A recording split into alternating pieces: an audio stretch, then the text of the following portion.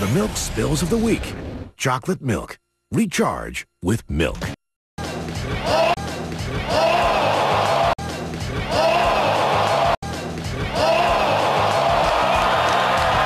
Wow. Wow. That's all.